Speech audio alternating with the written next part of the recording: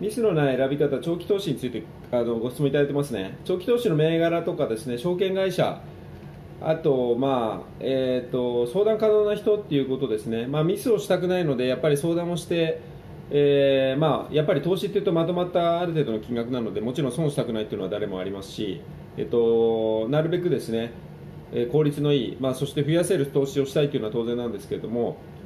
まあ、あの身近な人とかでお金の詳しくない人に間違間違いなく相談できないですよね、あと銀行の人もだめですよね、えーと、特定の、